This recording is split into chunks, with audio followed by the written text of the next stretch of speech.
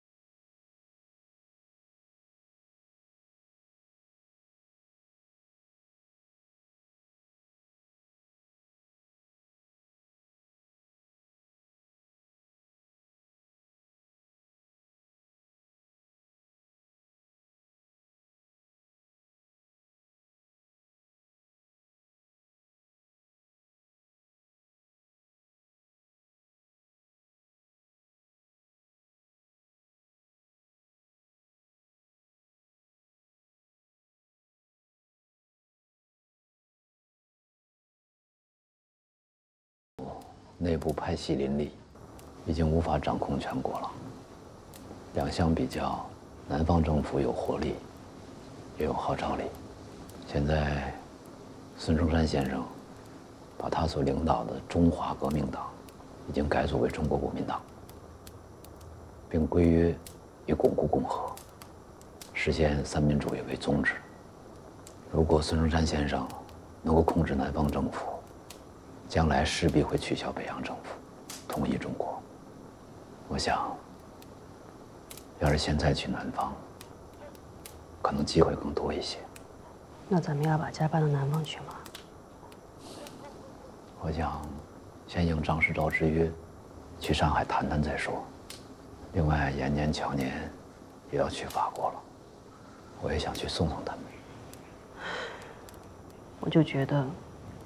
真对不住两个孩子，给白兰的费用凑齐了，延年和乔年的就不够了，没有钱，到了法国，我真担心他们出点什么问题。这两个孩子自立惯了，难不倒他们。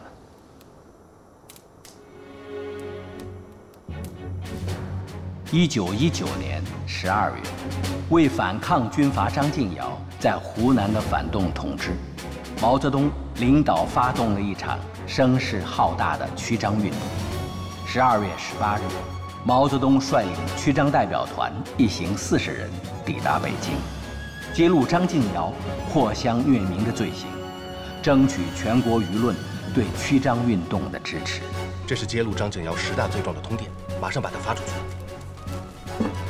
这份曲张宣言再多印出三十份，马上送给各个报社。哎，来，这份。是我刚刚写好的，要给民国政府进云鹏的，序章成文，印出十五份，明天下午就要用。好。润之，你看谁来了？润之，仲谢。润之，士别三日，刮目相看啊！啊，这一转眼，平民通讯社社长，九成闻名的大记者啊，不简单。哎，哎，同学们。这位是仲谢同学，首长先生，请他来看望大家了。欢迎，同志们好。首长先生让仲谢给咱们带了一车炭，大家帮忙去门口拿一下。哎，对，陈，慢点啊！来来来，暖和暖和。我呀是赶鸭子上架。一边干一边学。但说实话呀，我想死你们了。你也看得到啊，我现在忙得分不开身。等忙过这一阵呢，我就去看首长先生。我呀，有一肚子话跟他讲呢。守常先生也经常跟我们念叨你呢。好，哎，润之，我给你带来一样好东西。哦，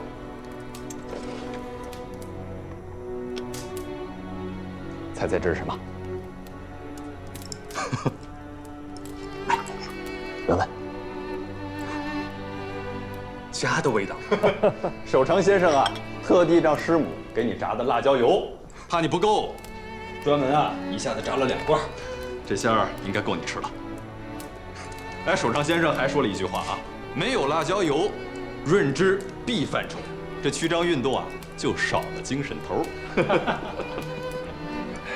替我谢谢师母，谢谢守常先生。哎，不光守常先生，仲甫先生也表扬你们了。同学们，我给大家带来了最新的一期《新青年》。来，大家看看。来，来，来，来，你的。仲甫先生啊，特地在这期《新青年》上边写了一篇文章，来支持你们的曲张运动。这篇文章的题目就叫做《欢迎湖南人的精神》。我给你们念上一段啊。我们奋斗不过的精神，已渐渐地在一般可爱的、可敬的青年身上复活了。我听了这类声音，欢喜极了，几乎落下泪来。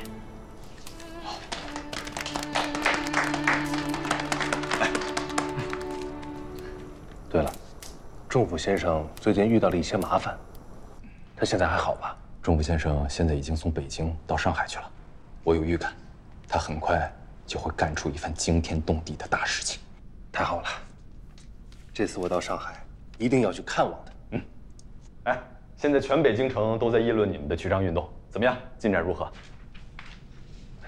遇到了一些麻烦，这北洋政府啊，像走马灯一样换总理。现在这个金银鹏啊，神龙见首不见尾，我摸不着他的辫梢子。我给你出个主意吧，他就住在棉花胡同，到他家去。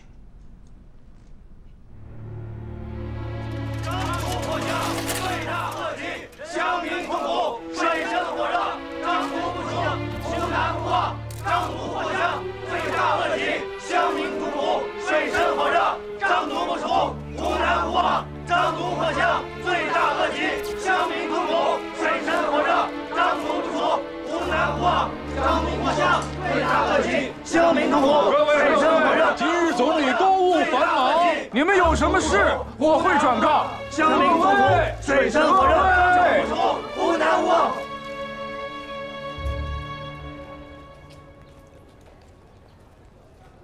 我们代表全体湖南群众，要求将张敬尧驱逐出乡。张敬尧怎么得罪你们了？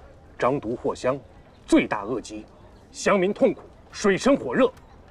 这是我们的请愿书，请您转交给总理过目。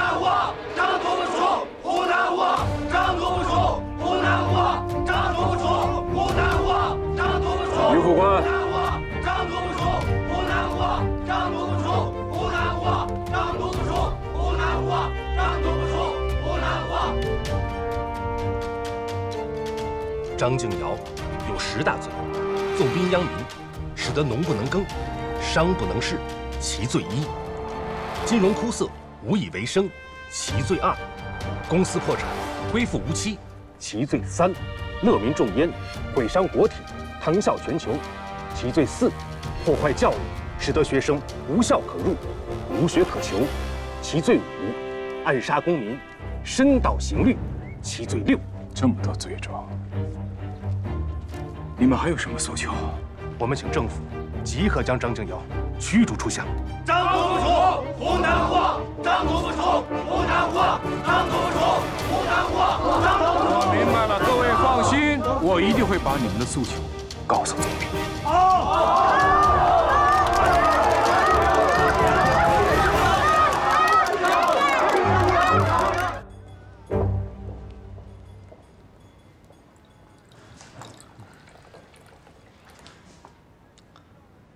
肖董好，哦，延年来了。汪经理说您找我，有什么事儿吗？这孩子，我发现你还挺着急。来，坐下，喝杯茶。哎，好，来，谢谢肖董。延年啊，今天我们俩就开诚布公的聊一聊。好，我问你两个问题，可以吗？叔叔，您说。你告诉我，你的志向是什么？我想成为一个能够报效国家、报效民众的人。那你想怎么报效国家？比如说，做国家的领导人，嗯，或是把这个国家的政权推翻，再重新建立一个国家？不，不是叔叔，这些都不是。我对当官不感兴趣，哦、我就是希望咱们的国家不要被外国人控制，民众不被当官的欺负，老百姓能过上好日子，再结成一个互助互爱。和谐的这么一个大家庭，我愿意为之而奋斗。你想怎么奋斗？我愿意为了国家。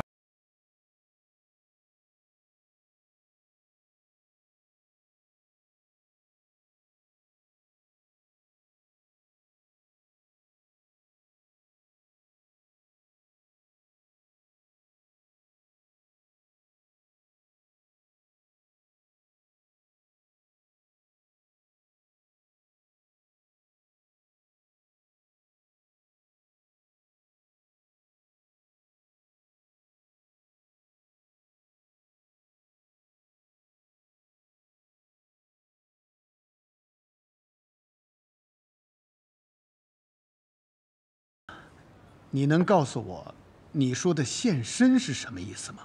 献身就是我随时愿意为国家牺牲自己。你小小年纪，怎么能想到牺牲呢？难道你非要如此不可吗？叔叔，我觉得在我们这样的国家，想要实现这样的理想。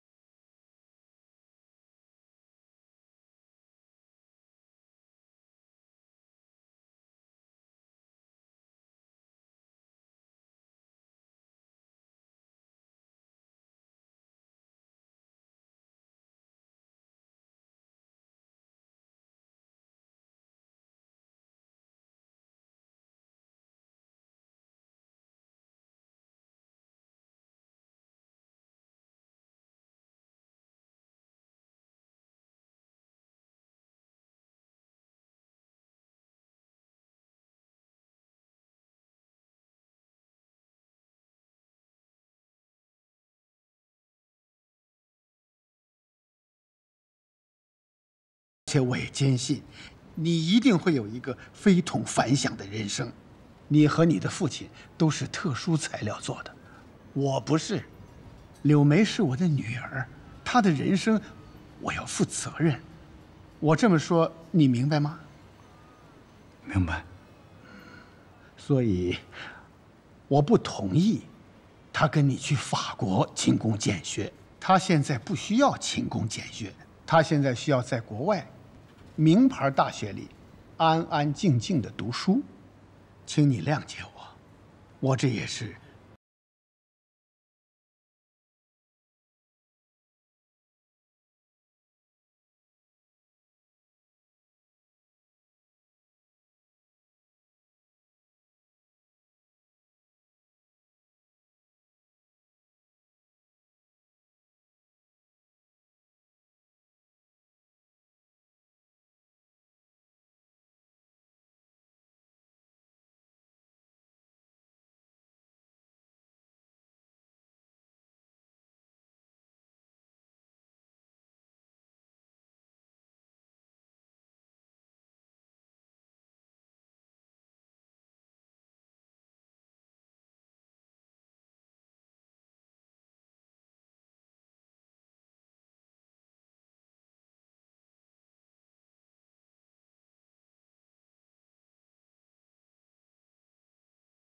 帮他弄一下。好，看镜头啊！好，哎哎，新娘的头纱稍微弄一下。哎，我来弄吧。哎，哎，好，好，好。延年，我爸找你谈话的事，他都跟我说了。我也清楚你的想法了。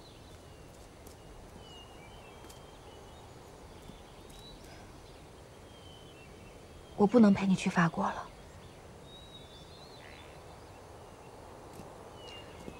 最近我也不知道为什么，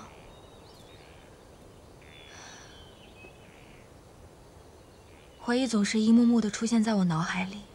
还记得我们俩第一次见面吗？在侦探学校，咱们俩打了一架。到现在已经四年多了，我们从上海到北京，北京到上海。我记得我们一起办简洁食堂。一起喂小羊，一起包包子，我们一起演活报剧，打倒王敬轩。我们一起做木偶，进监狱，发传单，上大街。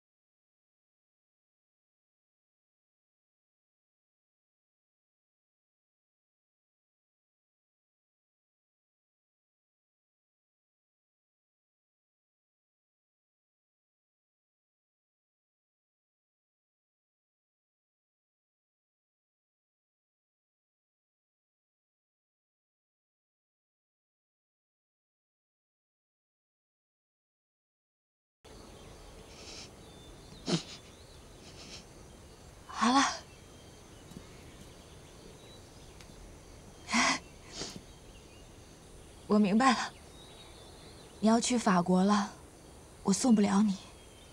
你要多保重，一路平安。我走了。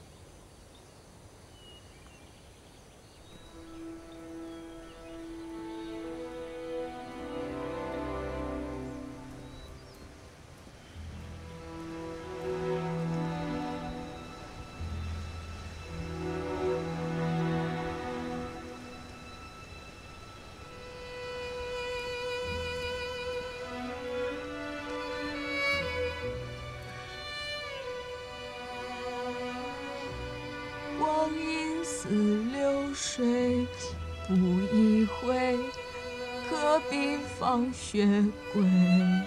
我们仔细想一回，今天功课明白未？老师讲的话，可曾有违背？父母望而归。我们一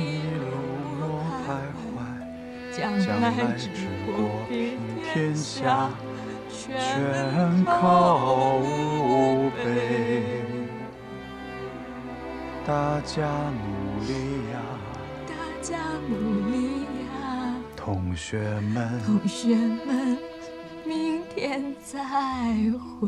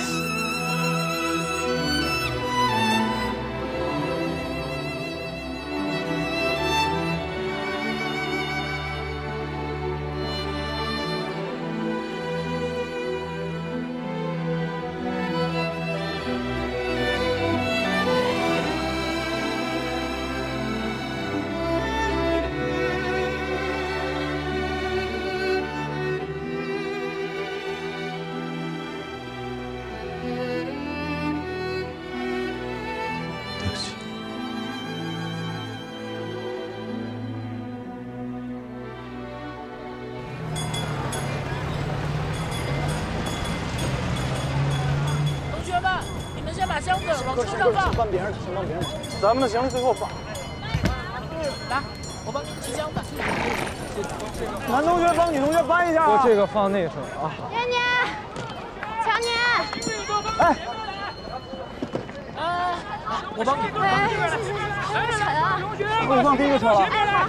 同学们，赶紧把行李放到车上。哎，强年，姐姐，谢谢。我来，我来，我来。大件行李往车上装啊。慢点啊。真的很沉。哎，你们家人没来啊？我没跟他们说，他们应该不知道。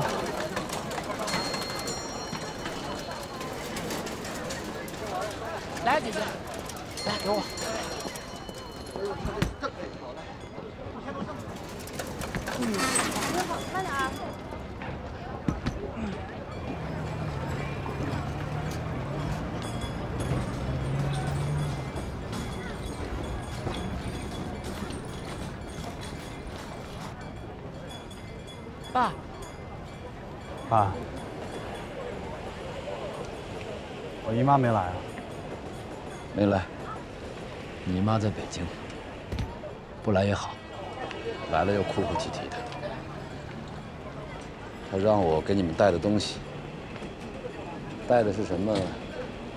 到船上再看吧。南瓜子儿，我炒的，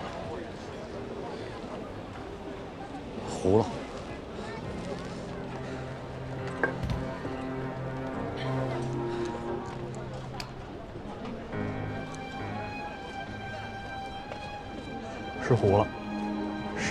是您炒的风格。糊大了。行了，这些够你们吃到法国的了，走吧。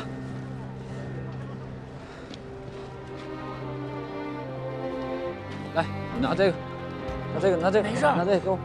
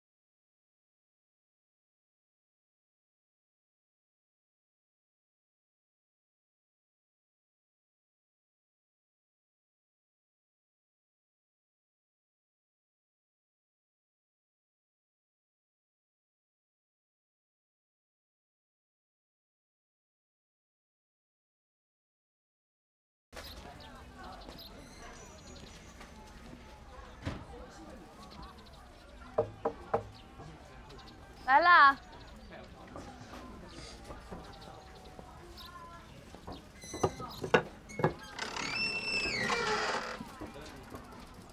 师母您好，先生在家吗？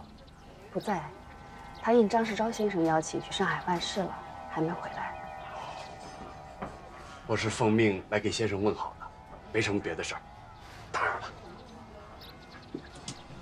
慢走。师母留步。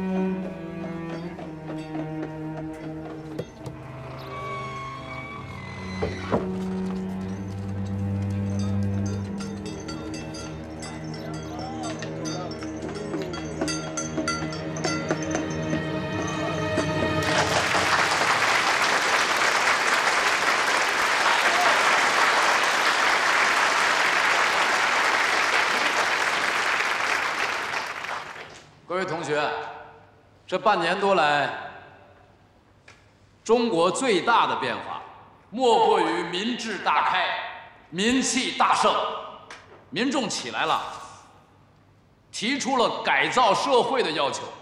我个人认为，这是五四运动最大的成果。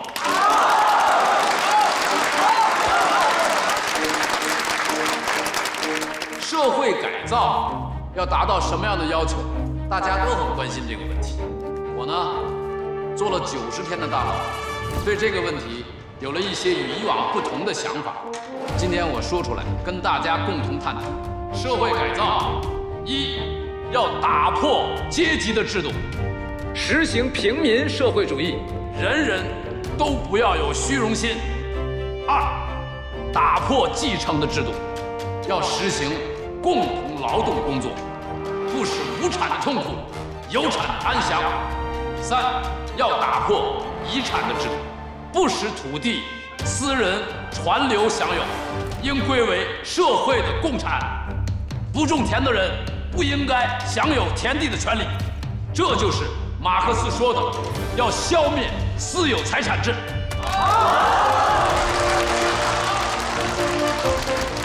这样的社会改造，要求我们。必须要建立起两个信仰，即平等的信仰和劳动的信仰。人人都要受教育，应该常劳动，心里总要有平等的劳动和劳动的革命。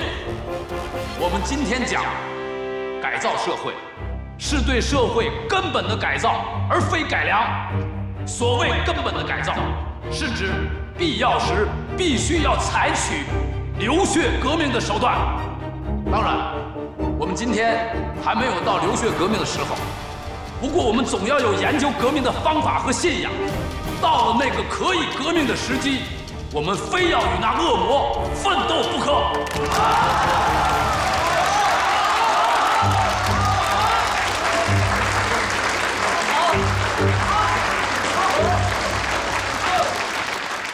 陈先生，过来呀！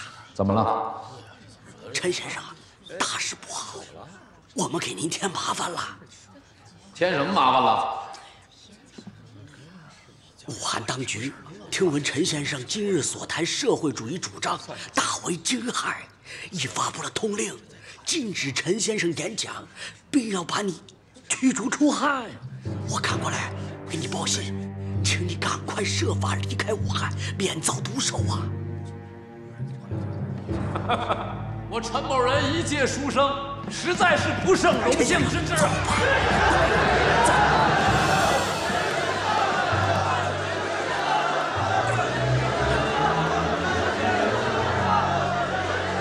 妈妈，爸爸什么时候回来？都出去好久了。爸爸很快就回来了。爸爸回来的时候给你们带好吃的，你们是不是想爸爸了呀？嗯，我当然想他啦。妈妈也想爸爸了。爸爸，说曹操曹操就到啊？爸爸，你给我带了什么好吃的？麻糖。怎么样？见到延年他们了吗？紧赶慢赶，总算是在他们出发前见了一面。那就好。来，进屋。东府兄在家吧？